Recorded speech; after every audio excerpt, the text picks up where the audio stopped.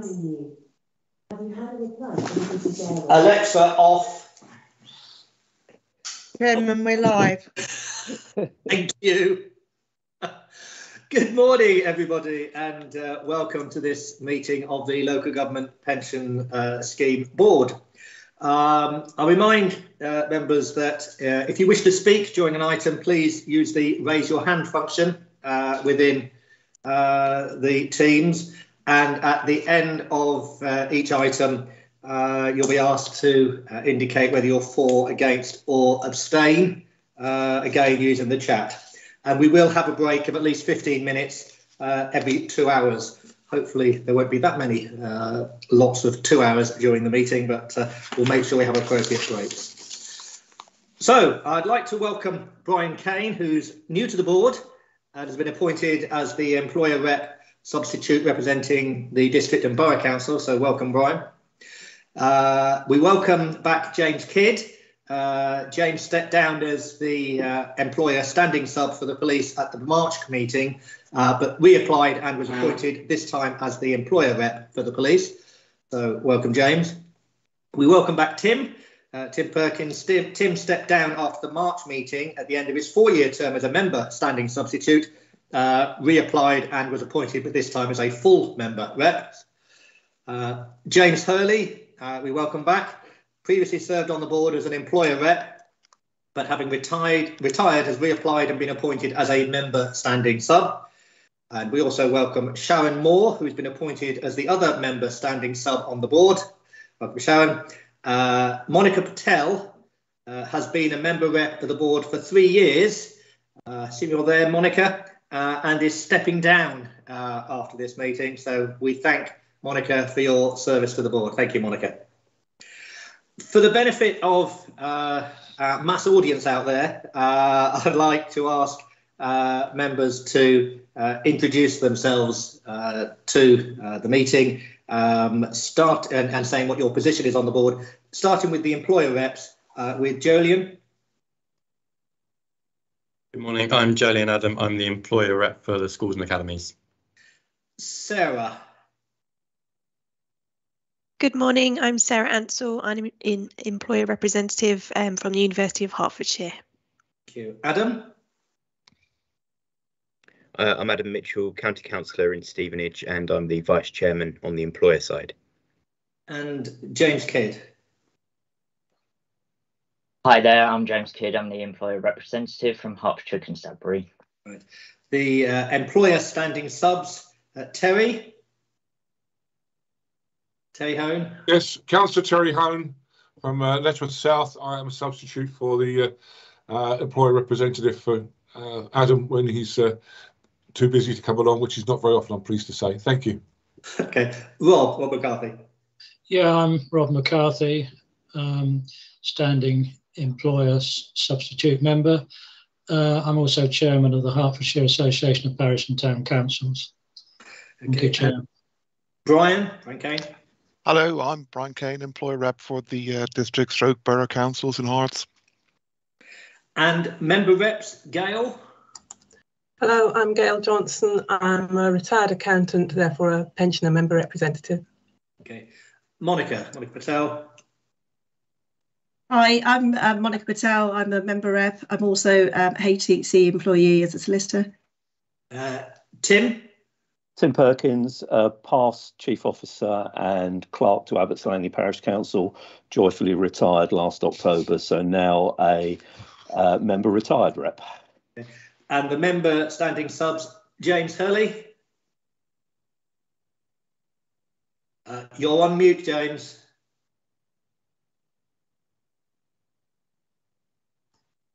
I'll take a start there. Good morning, James Hurley, member representative uh, and substitute. Uh, I'm a former Director Resources and CFO with the police uh, and also worked uh, for police pensions on a range of national issues.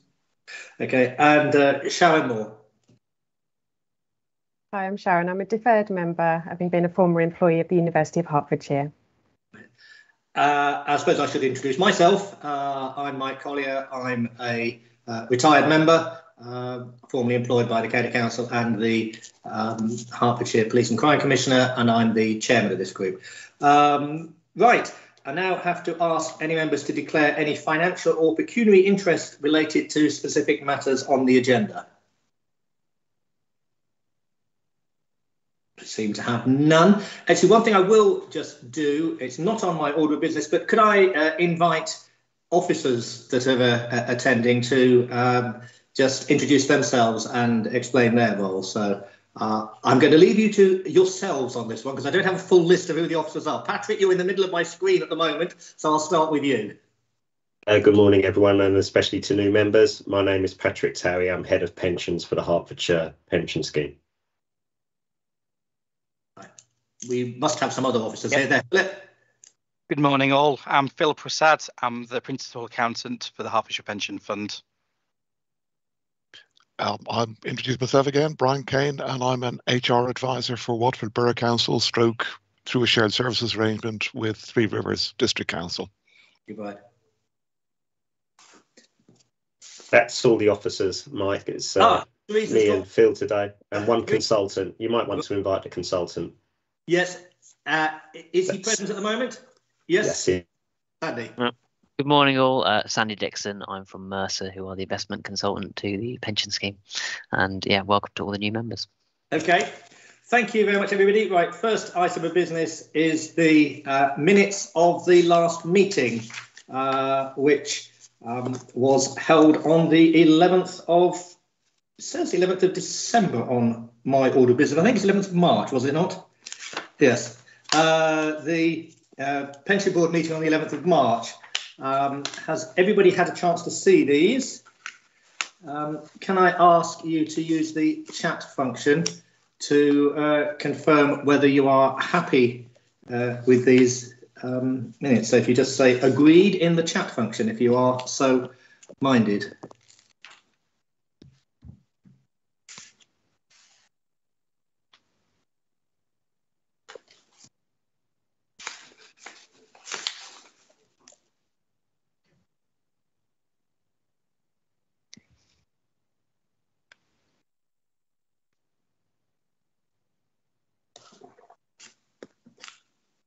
Okay, that item is agreed. So we then go on to item two uh, on your papers, uh, which I'll ask Patrick to uh, introduce. This is the Pension Board Business Plan for 2022-23. Patrick.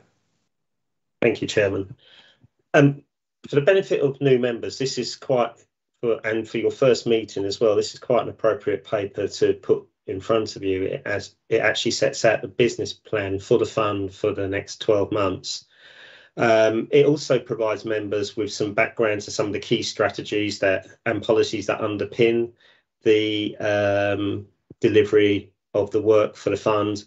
And uh, you'll see in section 2.3 some of the principal activities that will be uh, undertaking over the next 12 months. The main ones being the triennial valuation of the fund, which is every three years the fund is valued. Um, we look at all the assets and liabilities for the whole fund generally, but also all the employers and uh, set contribution rates. So this is a, a massive uh, piece of work. Uh, we'll be working closely with our actuary and some of the members on the board have actually received some training on um, the valuation and the process in setting assumptions. Um, we'll also be reviewing, uh, which we we do generally um, on a cyclical basis, the key fund policies that underpin uh, the fund's activities. And some of those policies will be updated to reflect uh, current regulatory changes, but also um, will be refreshed as part of the valuation process as well. Members of the board will be familiar with the our partner, the LPPA, delivers the administering service for the fund.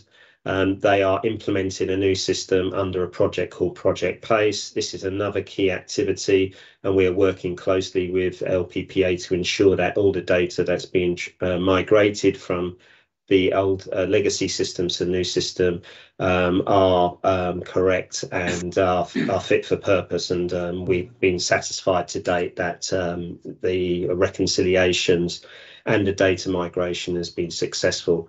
Um, you'll also see there on um, under 2.3, we'll be looking at our communication strategy with the aim to implement a new and uh, separate website for the fund, which will enable us to um, um, provide a lot more information about the fund activities, our investments, some of the work that we'll be doing on responsible investment, um, and also um, some of the policies that members may be interested, and also third parties who um, uh, um, on a regular basis contact the fund for information about our activities with respect to investments and responsible investment. You'll see there the investment strategy review. That's another um, review that we are required to undertake legally every three years. We um, are constantly looking at our investment strategy and we'll tweak it. We don't wait for the three years to undertake this activity, but we will um, do a um, root and branch review of the strategy um, as part uh, alongside the valuation process. Um, responsible investment, there's separate papers on the agenda that talk about this. And then we are also transitioning our custody arrangements, and the custody is um, it's a bit like the bank. It holds all the records of all the um, uh, assets that we have with all the various investment managers. It undertakes the reconciliation of all the uh, transactions that we do, sales and purchases, all the managers do on our behalf, and provides us with um, accounting records so that we can compl complete our financial year end accounts. And then um, access, that's a separate paper on the um, on the agenda. I'll go into a bit more detail there and a review of the equity protection strategy. So that is the main items of the business that we'll be delivering throughout the year. Um, it's uh, and Appendix A sets out the meetings where we propose to deliver papers to provide updates on progress on these items. It's not set in stone, that Appendix A. Some of those um, papers may be moved to um, latter uh, meetings, or there'll be additional papers that we are required to bring because of work um, that um, is maybe regulatory requirements to um, do certain work with the fund that we need to provide board and committee updates on. Section four provides members um, with some background to the fund and the governance of the fund. Uh, I won't go into too much detail there. It's quite interesting reading for uh, that's that's my perspective, but for new members of the board, um, I'd encourage you to read that, and uh, it, it, gives you some uh, detail as to how the fund is run and the responsibilities of the committee and the two boards that support the local government pension scheme and the fire board.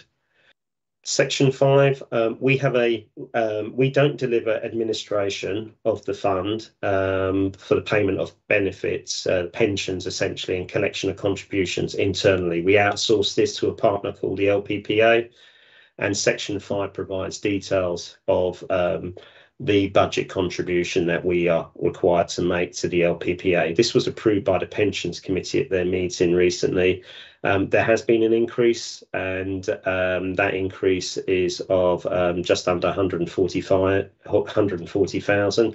It's reflective of a number of factors. Some of it is to do with the migration to the new system and the need to bring in additional staff to support that migration on a temporary basis. Inflationary pressures as well, they are subject to providing, uh, paying salary increases, but also suppliers, and um, that um, inflationary pressure is is there. Um, it's offset slightly by a 4.2 reduction in non-staff costs, and that is um, essentially around the replacement system, uh, which is a fully integrated system. The old system was um, a number of bespoke systems that essentially weren't talking to each other. So we'll deliver some savings there. The long-term um, objective is to reduce this budget contribution, and we've been in quite a lot of uh, conversations with the LPPA around this and uh, looking at their forward strategic plan and how they're going to um, cut those costs. Section six uh, provides members with, again, the key strategies. Again, for new members of the board, I would encourage you to look at these uh, documents. They are useful background information that explains um, um, why these policies are in place and uh, the, what activities they relate to in the fund. Section seven is uh, just about a forward plan in Appendix A. So um, I would actually also like to talk on the knowledge development, which is um, Appendix B. All members of the board are required to um, have um, do some learning and some of that learning will be done, uh, will be supported by officers through um, MS Teams sessions. We'll put in hourly sessions throughout the year and uh, we'll actually also um, ask you to join committee so we can do the shared learning together with you. But some of this is also a requirement of board members to do some self-learning. Uh, we have a um, uh, our actuaries developed a learning tool called Lola, which is an online tool. And for new members, I will um, ask um, our committee clerk to get your email addresses and we'll, we'll get you set up on um, that system. So you can look at these modules, which refers to all the various sections, uh, modules that are referred to in Appendix B. Uh, and they're useful. They give you some um, additional detail and uh, you can look at these and um, learn at your leisure. Um, but I would encourage you to do this. We'll be bringing a report to the July meeting which sets out um, the learning that we've delivered to um, members of the board and committee over the last 12 months, the tools that are available to you for additional learning, um, and um, we'll um, be recording the use of Lola as well, a number of members who are actually accessing Lola and the uptake of that, because that's a key tool for us to support the learning development of uh, members of both board and committee. Happy to take any questions, Chairman, on this particular report. Thank you, Patrick. If anyone has any questions, if you could use the uh, the hands up uh, function. Uh, I see a hand up there from Jolyon, and then Gail. Thanks, Chair. I, th I think Gail was first, but I'm sure she won't mind oh, if right, I jump in.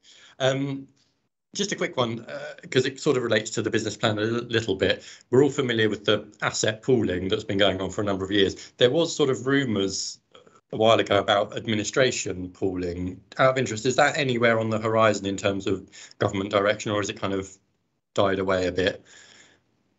Um, I, I, haven't heard any rumours on the rumour mill. Uh, we have quite a lot of close contacts with um, the uh, officers, um, civil servants in central government through the both the scheme advisory board and through some of my colleagues in Access.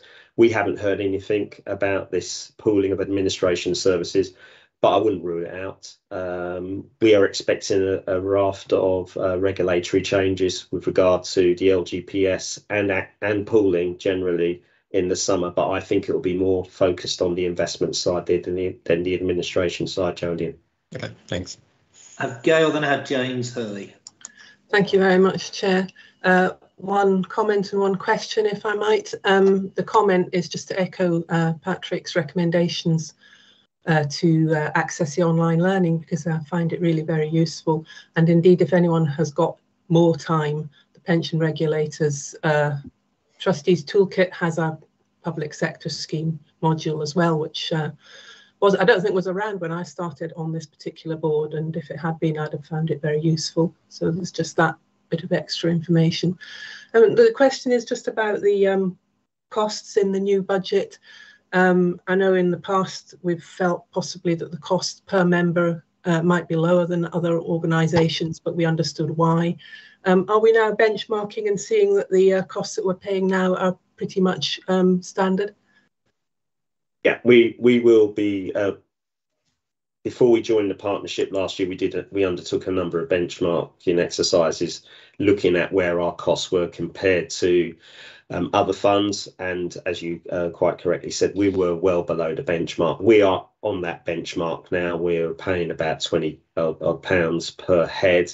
Um, we would expect that to fall with the uh, LPPA um, cost cutting exercises that they'll in, in, introduce once the new system is embedded. And we expect that we will either be on par or below um, par for the um, cost per head for funds across the LGPS. Thank you. Thank you. James.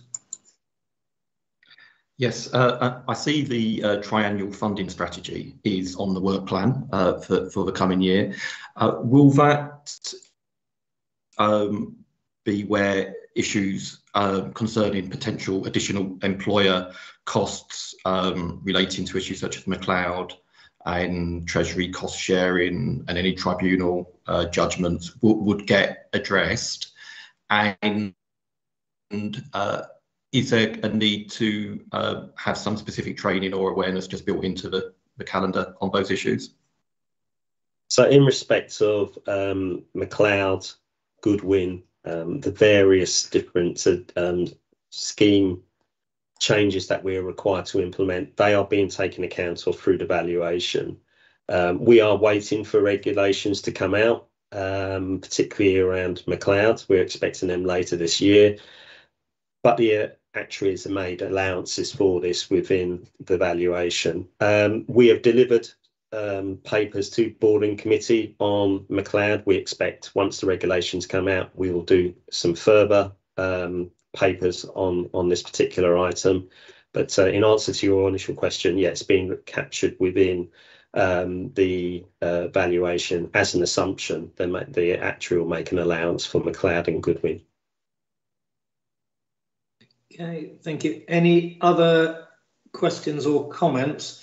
Um, I'm not seeing any, so I'll move to the recommendations. There are, there are two recommendations on this item. Uh, 3.1 that we note the content of the report and comment on whether they wish to see any further items on the forward agenda. I am taking from that conversation there are no additional uh, items unless anyone corrects me now.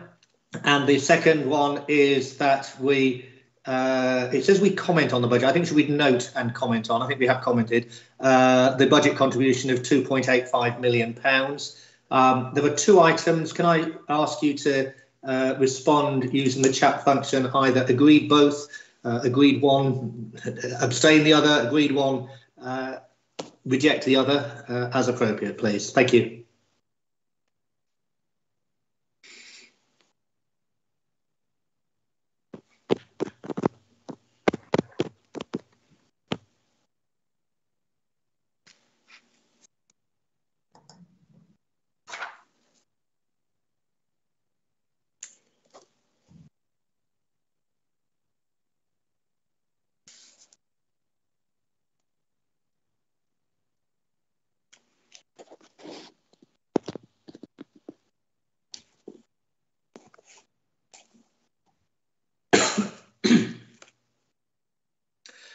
Okay, the, that is uh, agreed and noted. Item three, which is the asset rebalancing review. Um, I have a note that it's uh, Philip and Sandy. So, Philip, are you going to start this and then hand over to Sandy?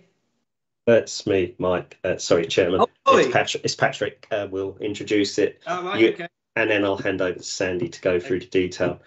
Um, just for a lot of members of the board, this will be a, a new item for you. But um, to give you some background, the Pensions Committee back in 2018 agreed that um, each year we would look at the strategic asset allocation of the investment assets within the fund and rebalance them to bring them back within their strategic asset allocation.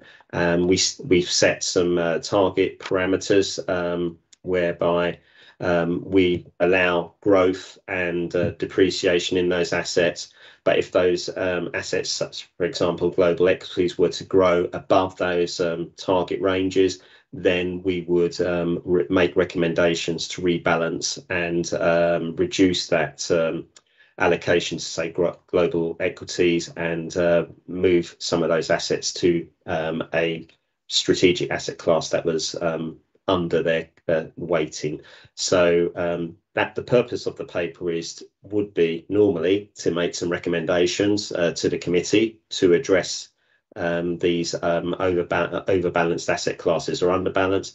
However, and I'll let Sandy go into the detail. The first part of this first quarter of this calendar year, there's been a number of geopolitical events that have caused equity markets in particular, but markets across all asset classes, commodities, uh, bonds to um, be um, cause a great deal of volatility. And so what we've agreed is to postpone the rebalancing until markets stabilise. But I'll let Sandy go into um, some more detail on that.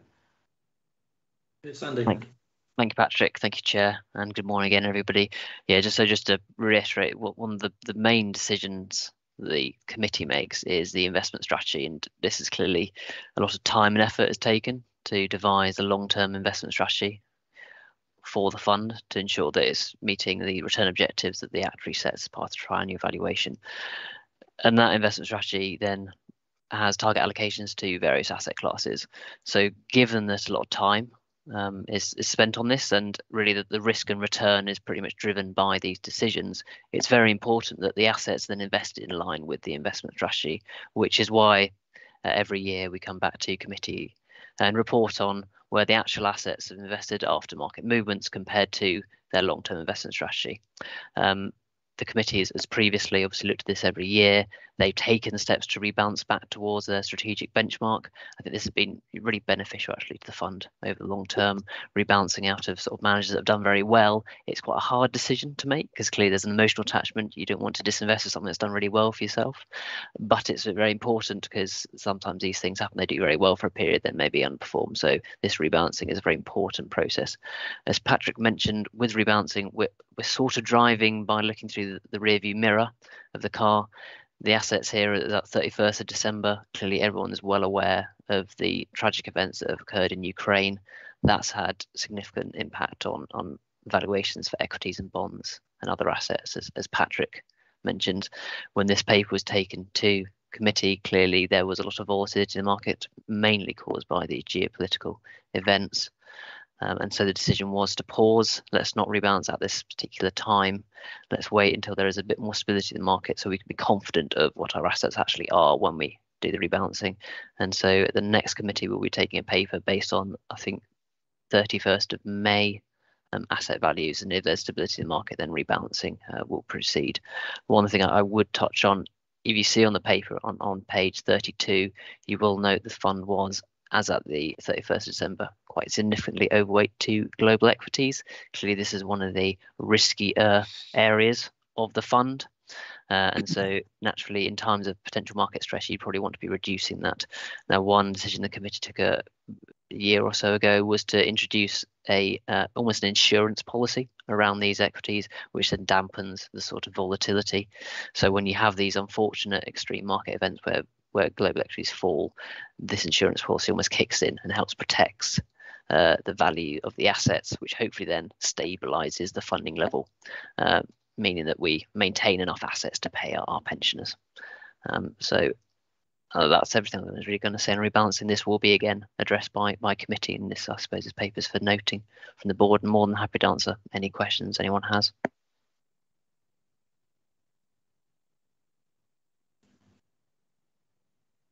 Sorry, sorry about that. Uh, right, okay. Any questions, anybody? raise your hand in the usual way. I'm not seeing. Uh, Gail, is your hand raised? It is. It is, Chair. Thank you. Yes. Um, could I just come back to what you've just said, Sandy, which was about the insurance policy? Is that the equity protection strategy that the paper refers to? Could you just spell it out a little bit more? I don't think I've got all the details to hand. So, I mean, the fund in aggregate probably has about close to three billion pounds invested in various equities across the globe, UK and globally. So this strategy basically almost puts caps and collars. Uh, so you, you basically buy insurance. So if at markets fall, you then get a payout.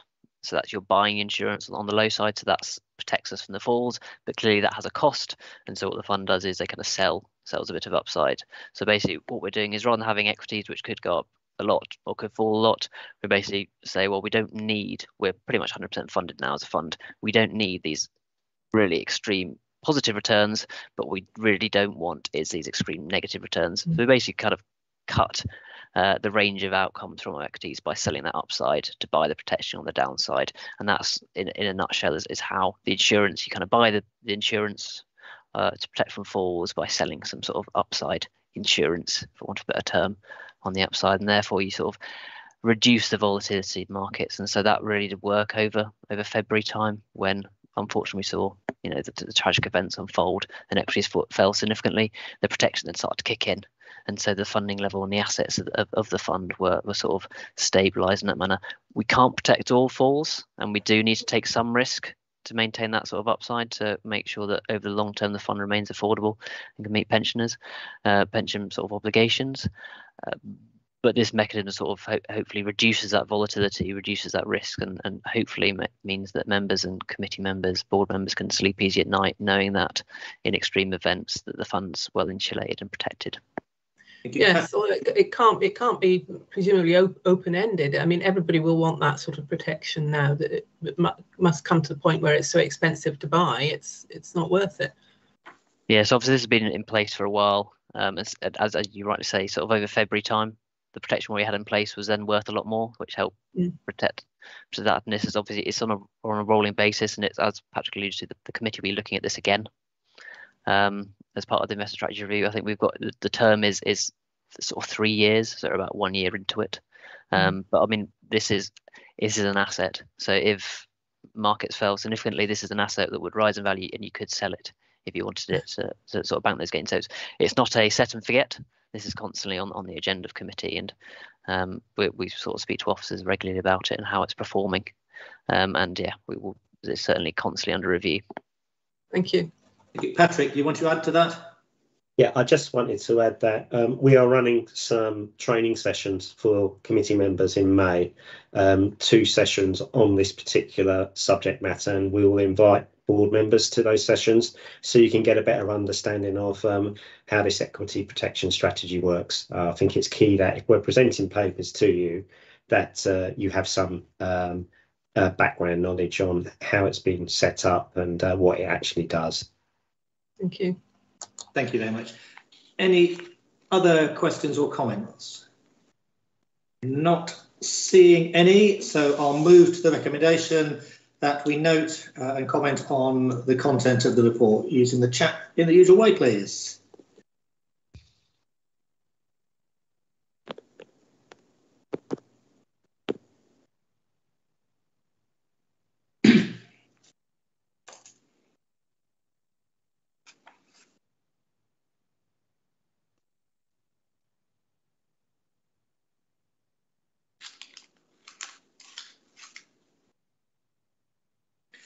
Okay.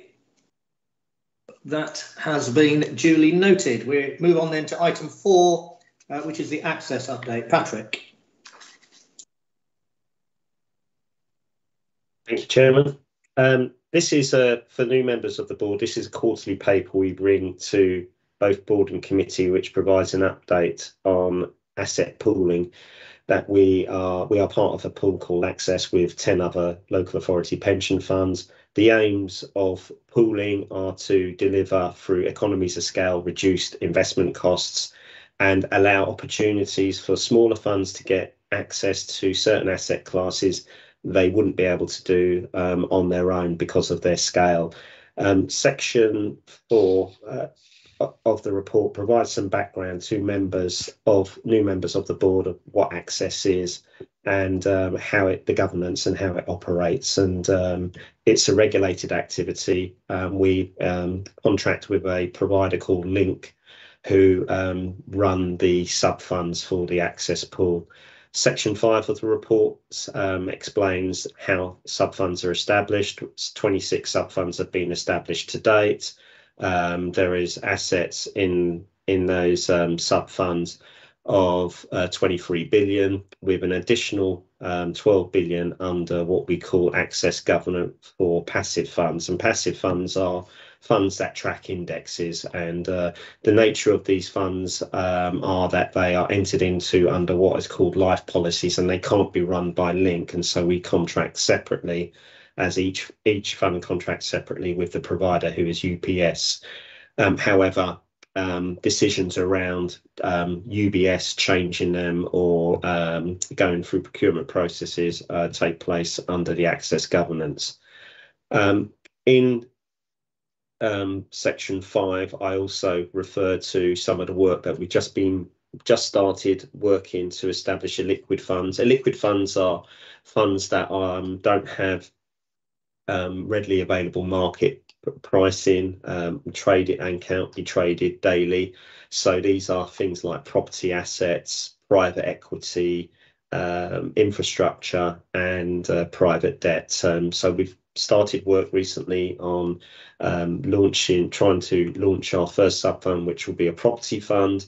That will take um, some about 12 months, I would suspect. We have to go through a procurement process to provide a property manager who will run the, the fund for us. And uh, the Hertfordshire Fund will uh, initially make new commitments into that fund and over time transition legacy assets, its legacy property assets into that pool, um, dependent on whether um, our current manager, CBRE, is um, one of those managers who's appointed to that uh, particular um, pool sub-fund. Section 5 um, sets out, Table 3 in particular, sets out the sort of forecast savings that we've been delivering uh, or anticipate to deliver over this year from pooling. Um, section 6 sets out on pages 42 to 43 of your pack, sets out the proposed budget so we, as a member of the Access pool, are required to make a budget contribution to the um, Access budget for 2022-23, and you'll see that um, the budget this year we are um, making a slight uh, increase in our budget contribution of about, I think it was about £12,000. And then 6.2 on page 43 show, sets out some of the main business activities that will be conducted by the access pool. Um, my officers and I, we contribute to these work, the work delivered through access. There is an access support unit which has a director, but fund officers are quite uh, proactive in um, managing a lot of the work streams that underpin the business plan for access. Section seven, I want to pay, spend a bit, little bit of time on this, and this is um, re in respect of governance and um, the access governance, um, the decision making body is a joint committee made up of 11 chairmen, uh, chairmen um, that represent each of the 11 funds in access. They are all elected members. Um, the Scheme Advisory Board, which is a body that advises central government um, on um, local government pension scheme, has advised, provided guidance um, to all the pools. There is about eight pools out there with respect to governance and what they would like to see on their decision making um, structures. So they would like to see board members um, sitting on those structures, um, either in a decision making capacity or having um, some form of um, observer status.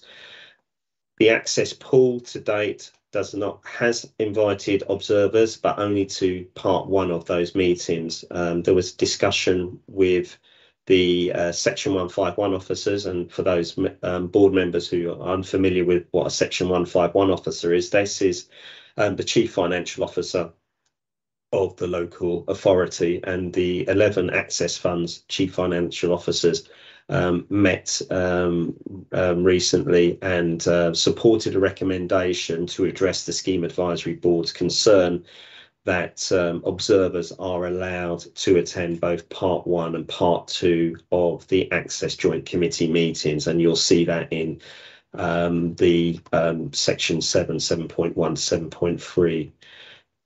Uh, to allow all boards to be able to participate in this, and it's it's it's quite key that we uh, initially have a um, allow all the boards uh, to send representatives to the um, Access Joint Committee. We've set out a proposed meeting structure and rotation, and that's set out in Table 5. This will be reviewed after 12 months because um, some of the um, members of the Joint Committee um, felt that this may not give the continuity of um, attendance and um, the uh, opportunity for members of board members to develop their knowledge. So I suspect this will be reviewed in 12 months, but to address and allow opportunities for boards to attend initially, this is what's proposed. I would also add that the expectation is one of the board members that, uh, for example, we're at, um, if you look at uh, the meeting structure here, we've got meeting B, um, Hertfordshire is expected to send two observers to that meeting. That one of those board members is a member that represents the membership. So that's deferred pensioner and uh, active members, and the other member is um, an employer rep. I expect this um, the Hertfordshire attendance to be at the meeting on the uh, 12th of September. once I get the details, I will um, come back to the chair and the vice chair um, with, to confirm that date and then invite um, attendees um, to represent the Hertfordshire board. Section 8 of the report shows the Hertfordshire position in respect of what assets are in the pool and outside the pool. Hertfordshire's got about 49% of its assets in the pool. Um, you'll see that they are primarily in um, equity and bond funds. We have had a higher percentage in this pool. We've had about 60, 65%. Um, that's been reduced over the last 12 months. Um, one of the decisions um, that um, led to the reduction was a disinvestment from a manager. That was a point that we appointed about 12 months, 12 to 16 months ago. Um, a manager called Longview. Um, we, uh, the pensions committee, made a decision to disinvest from them and withdraw the money from the pool because the manager wasn't doing what we initially um, appointed them to do. So we have made an application to Access to get a replacement manager, and we expect that money to flow back into the pool. The other disinvestment was from our UBS manager, uh, from our bonds. We have uh, quite a high. We did have quite a high allocation to gilts. Um, we disinvested um, some of those gilts to fund some of our property um, investments um, with um, M&G and Legal and General. That's that uh, the second column from the bottom, property, um, PR, private rental sector and high lease value. And also we disinvested some assets to fund infrastructure debt investments as well. And um, th those disinvestments took place over the last two years. Um, we also disinvested some gilts to and equities from UBS to act as collateral for our equity protection strategy. So that's an explanation of why um, there's been a fall in the assets in the access, pool. There are going to be inflows back into the pool, and that is set out in the paper. We expect to move. Uh, we have made an investment of 375 million in a manager called Dodge and Cox, which is a global equity value manager. That's set out in 5.7. We will be moving our bond manager BlueBay into the access pool that was approved by um, the joint committee at its last meeting. So that's nearly another 300 million moving in. And we've got some emerging markets um, managers that we are waiting to be um, um, approved by the FCA, which will involve 300 million pounds worth of assets moving into the pool as well. Um, Section 9 provides uh, some an update on the responsible investment policy that Access as a pool is developing. Um, you'll see some papers on the rest of this agenda around the RI policy that we'll be de developing for the fund. The pool is required to have an RI policy. We suspect that um, there will be subtle differences between um, some of the fund's RI policies and the pool policy. But uh, just to uh, provide you some background, the RI policy for the Hertfordshire Fund, we have we have sovereignty over that, and so if we don't find that the access pool is providing us with some funds, sub funds that can address our RI requirements, then we'll either make applications to access to put those in place or keep those funds outside the pool. Chairman, that's all I was going to say on this paper and happy to take questions. Okay, uh, Jolyon, I uh, saw your hand up first, and then Adam. I didn't actually have my hand up yet, but I do have a question. Oh, so, I, do, I psychic, psychic link. Um, I think I'd um, looking at the uh, proposal about having local pension board members going along to the access committee. I think I'd probably echo that concern. I think you said was raised whether that was by our committee or the joint committee itself. That the schedule set up looks a little bit Hertfordshire members will be going to maybe one in four meetings, and I'm not quite sure how often they meet. So maybe it's once a year or something. I know they're termed observers at this stage, so it's probably just to see how it works, but hard to see how they could make a, a meaningful input, given that there would just be a dip in. I'm sure the Access Committee is looking at quite a lot of kind of, again, complex issues. If you said like a meeting like this, you were just coming in for one one meeting a year, you wouldn't really have that continuity of stuff. So I'd probably share that that concern, but I appreciate it's kind of a trial period and then another potential run will be taken at how that how that's administered. So it was comment more than anything else. Thank you, Jolyon. Adam. Yeah, thank you. So I'm, I'm looking at the savings table in 5.5, uh, at- at- which seems to have sort of plateaued a little bit, um, and that might be because we've taken some of the things out outside of the pool. But as as we put more into the pool, Patrick, would you expect those savings to increase going forward? Um, it would depend on the style of manager. If you're play, um, if you're swapping like for like, i.e., you're moving your manager, uh, and I'll give an example: BlueBay, we are paying more fees outside the pool, but by moving it into the pool with um, two other funds, uh, Cambridge and Northamptonshire, we will um, we will be able to negotiate a lower fee with that manager. However, if we're moving from say a growth manager to a different style of uh, equity manager, for example, a quality manager, we may expect there may be a change in fees. So it's like you can't compare apples and pears. Um, what we're trying to do in this table is compare where we're moving like for like, um, and you'll see in part two um, in the cost of investment management paper how our fund compares to uh, peers when um, when we look at our investment management costs.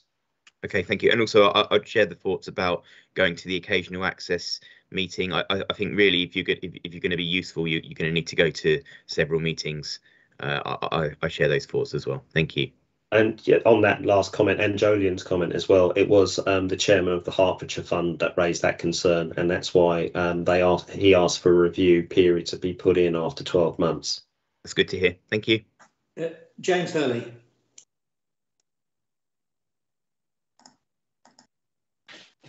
Yes, um, uh, just sort of um, looking at the previous paper and the rebalancing and then also the investment strategy work.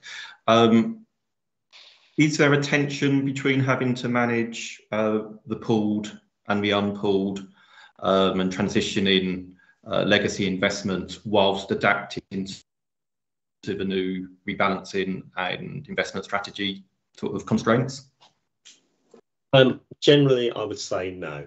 Um, I think with, with respect to rebalancing, you're looking to move assets between your current asset um, man- with, between your current managers within the, the fund. Um, I think the, the, st- the stresses, uh, tensions could come where we're doing fundamental investment strategy changes, where for let's use an example. Um, we wanted to invest in green renewables, a manager who is um, um, concentrated in renewables, and the Access Fund doesn't have that.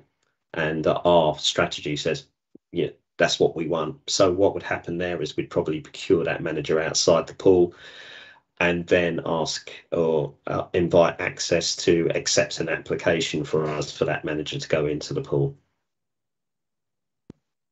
Okay. Thank you. Any other questions or comments?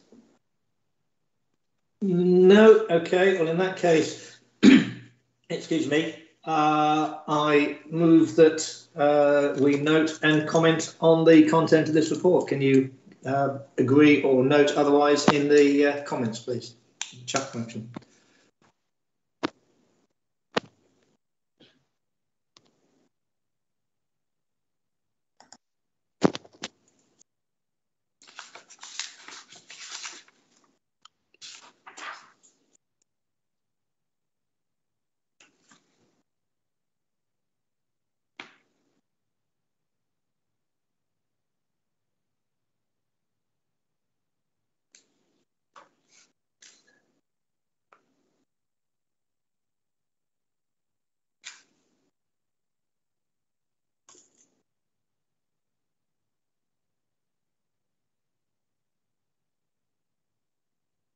Item four voting noted and commented on, Chair. Thank you. Okay, we move on then to item five, uh, responsible investment project work plan. Uh, Patrick. Thank you, Chairman. Um, again, I'll um, lead on this and then hand over to Sandy for some comments, as this is a joint piece of work. Um, we felt that it was really important. We we we set out earlier a business plan for the fund, but we also felt it's really important to pull together a work plan for how we're going to deliver this um, responsible investment project. Um, most members of the board will be aware that the the fund has got an investment strategy, but also we do have what is called a uh, ESG policy as part of that. Excuse me, I've got to turn on the battery in the back of my laptop.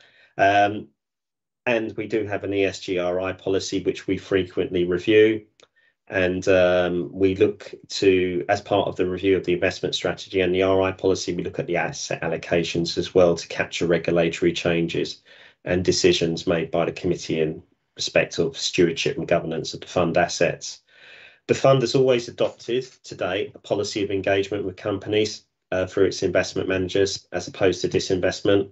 We believe that, and the committee has been um, quite um, strong in its conviction that it believes that stewardship can and engagement can influence company chain, company behaviour.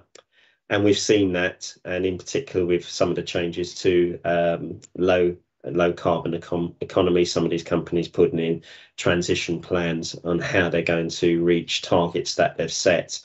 And um, our investment managers have been, and we met one of them recently, Baillie Gifford, who set out how they engage with companies and challenge them in respect of their transition plans. Um, but I, this this um, actual um, work plan does not solely focus on um, low carbon economy and transition plans for that. It also looks at the um, societal impacts of our investments. Um, we look at also um, the governance of the companies that we're invested in, and it's quite clear that it's important that companies are well governed um, because that um, gives investors confidence um, in their business plans and uh, the way those companies are managed. So that will be part of our review as well the fund's current policy um, has, um, it, I would say, is pretty light in detail, and we've been challenged by external parties on this. Um, but I don't think it reflects some of the work that both the committee and board, or the committee and working group of members have done in the past on implementing um, things like carbon footprint reporting, in investment in a climate aware fund, and so some of the work that we'll be doing through this work plan will be building upon those um, activities that we've already got in place. Um, you'll see that uh, there is a number of work streams and we've broken it down into five work streams. I think um, if I go work streams one to four, these are the initial building blocks and work stream five is the implementation plan, looking at the reallocation of assets um, once we've uh, agreed the, the policy and um, some of the modelling that's been done. So workstream one, which um, is on your agenda, is the beliefs and RI policy. Um, the belief survey, which all members um, of committee and board are invited to participate in. We'll share the results of that with you in part two.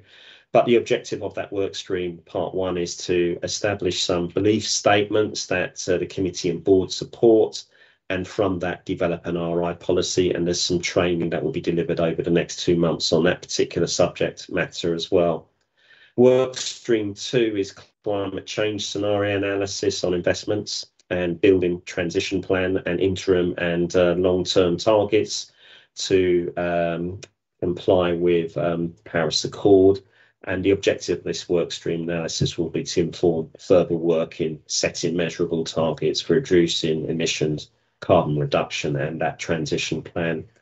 Um, Workstream 3 is more about a regulatory requirement, um, and I'll be clear here, the LGPS um, or this fund is not required to comply with this at the moment. A lot of private sector funds are that um, have a, um, and these are um, usually the um, large private sector funds with assets under management over 2 billion plus.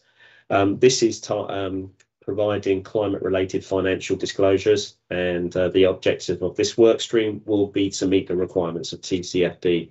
Um, the fund, um, although not required at the moment to um, do this, we feel that at some point we will, under regulations, be required to do so. So we want to get ahead of the curve on this one. We do some of this already, and we've been delivering reports on our carbon emissions and intensity to both committee and board since September 2019. Workstream four is the stewardship code, and uh, the ambition of the fund is to be a signatory to the stewardship code. This will require the filing of a draft report to the Financial Reporting Council. Um, and um, again, it, it's quite an intensive piece of work, and we'll be working closely with the um, our consultants um, developing this report. And finally, as I said, work streams one to four lead nicely to work stream five, which is the implementation and the um, looking at um, strategy options for the implementation of the requirements um, that have been agreed through work streams one to four. I was going to hand over to Sandy um, if he um, would want to run through his appendix. Thank you, Pat. Thank Chair. Uh, and just to sort of reiterate what Patrick said, especially both for the new members of the board, ESG, and apologies, there's lots of acronyms in here, environmental, social and governance considerations, as well as RI, so responsible investment. These have been integrated for a number of years, but by the fund when they select managers, and it's been very important for the committee that these considerations, because they can have a financial impact, have been taken into account by managers. So I would hopefully the board will be reassured that the fund's been doing this for quite a while. I think part of this exercise is to make sure that we have policies, processes, and reports in place so that we can always make sure that the that members are aware of the work the committee and the board have done over the number of years. Um, so, I mean, previously uh, work, so the, the managers that, that the fund have all have very high sort of ESG uh, ratings uh, that we we provide. Uh, as Patrick said, there's been carbon footprint analysis, so the committee is well aware of where the fund stands compared to just invested passively um, on its uh, the potential impact that carbon pricing, etc., could have. And so, the, part of these work streams just to make sure we can codify these a bit more and make sure we have good transparent reporting lines back. Um, and as sort of Patrick alluded to, we we might say there's these five work streams. In reality, they they all sort of have impacts on each other and they're not individual silos. Clearly, the beliefs in the RI policy will feed quite a lot into the investment strategy to make sure the investment strategy picks that up. The climate scenario analysis, again, this is thinking how will the assets react in various scenarios depending what happens um, with, with climate change and what that might have on our assets. Clear that then again feeds back into the investment strategy to make sure that assets are invested in an appropriate manner. Um, and then obviously three and, and, four, particularly, are probably more about external reporting, um, and especially just to touch on stewardship code before I stop is all the underlying managers that we invest in uh, signed up to stewardship code. There is a report that we take annually um, to committee, which uh, looks at this and asks managers uh, for their stewardship code reports. So now the, the idea or the purpose is because under uh, ISS, so investment strategy statement guidance, there is an indication that funds should sign up to the stewardship code as well. And so that is what this report is, is going to do, to hopefully sign up to that report, which clearly there'll be a lot of leaning on managers and access as the pool. Um, because obviously they are the one that actually implement a lot of these things uh, on on the fund's behalf. Okay, thank you for that, Sandy. Any questions or comments? Uh, yeah, Tim and then Jolyon. Uh, thank you, Chairman. Just a quick question, really, for Patrick. Um, in a previous meeting, you mentioned that you were having, um, how shall I put it, sort of angry from Bishop Stortford getting in contact, saying, "How dare the pension fund invest in BAT or Shell or anything like that?" Is that still a feature of um, your day-to-day email responses, or has that sort of died off a bit? Um, Tim, a good question, and we were getting a lot of challenges for quite a considerable period of time. I think it has died off. Um, I've got to admit, I can't recollect the last time I had um, an FOI or um, or one of um, the chairman or vice chairman has had an email from um, a third party um, urging us to disinvest from certain asset classes. And I think a lot of that is to do, and what we've been doing is signposting them to some of the reporting that we've been doing. And uh, we've had a number of discussions with some of these groups as well to explain what we're doing in the background. The challenge from them to us has been you're not transparent about this. And so this work plan that we've put in front of the committee and board is trying to highlight that and provide that transparency. Um, we're not saying that we're going to make um, um, and you know big decisions about disinvestments from certain sectors that will um, that will fall through will come through um, this uh, process that we go through now. Um, I think uh, the committee's view today on engagement has been the correct one. and uh, and I've seen the evidence that these companies have been listening to their shareholders, and I think that's very important. That you're better off engaging with them and having active share, share ownership than sitting outside and uh, um, trying to pressurise them without any active voice in in in that discussion. Okay. Excellent. Thank you, Patrick. Yeah. Thank you, Chair. Um, probably a question for Sandy. Hi, Sandy. Um, and uh, Patrick maybe sort of hinted a bit of an answer to this one, but in terms of um, equity investments, we've obviously got about half of the equities, looks like about 1.6 billion with UBS as, as passive um, management. Um, how do some of the ESG principles get applied to that kind of mandate? Because I can kind of understand it in an active management. Baillie Gifford say they engage with the companies they're looking to apply investments to and, and talk about ESG. But and I know within UBS there's there's various sub funds and some of those might be a climate aware one. But in the broader context, passive is probably where we're going to have exposure to the, you know, the Shell, the BP, things like that. Is it just uh, um, we've got some shares, therefore we've got some votes and, and try and sort of steer the ship that way, or is is there anything else that gets built into that? um, to try and kind of reflect those ESG ambitions? Yeah, thanks, Jane. It's an excellent question. Um, and you're, you're quite right. Clearly, when we're choosing active managers, we want to understand when they're choosing companies to invest in, how do they integrate environmental, social, and governance considerations when they're choosing those companies? Clearly, they're trying to pick the best companies they think are outperform and add value to the fund. Clearly, passive, you're quite right. It's very different. What they're trying to do is provide you with a market return by investing in all listed companies. Now, that does mean that you will have exposure through passive to tobacco companies, to oil and gas companies and like. And you're quite right. There, the ESG piece is probably more on the governance side. And if you think these passive funds, so UBS, LGIM, BlackRock, they hold combined, they have you know trillions of pounds worth of assets, and so these are major shareholders on all these boards. So with that, comes quite a lot of power, really. If you're a major shareholder and you're voting and trying to inform the board and the management of a company, this is the direction of travel, otherwise we'll vote against you. That is how they can influence it. And that's why we always have this policy of engagement, because as a major shareholder, when you invest passively, you almost have to hold these companies, as you sort of say. It's then about, right, well, we own this company, we have a say in the direction of travel of it. And so we can hopefully, and that's why, you know, UBS are aligned with the sort of RI policies of the fund, we can then move, hopefully, move in the same direction. Um, so that's that's the idea behind that. The climate aware fund, uh, just touch on that. That will deviate slightly, so they will have under and overweights on various um, companies. They're still trying to um, achieve market returns, so track the market, so provide passive returns. They have a bit more bandwidth than the classic passive manager. We're allowed a little bit more deviation away from the market, and they will say, "Go well, Exxon. We've tried to engage with them. They're not really as responsive. We'll be underweight them, and we're therefore we might be overweight. Maybe someone like Total." Uh, you know, a French company that's investing a lot in renewable energies, um, so they can maintain sort of sector alignment, but really try and move the dial slightly towards the companies that are doing more than others. Okay, that makes sense. Thank you. Thank you for that. Any other questions or comments? I'm not seeing any, so I'll move to the recommendation that the pension board notes and comments on the contents of the appendix and the responsible investment work plan. Can you respond through chat in the normal way, please?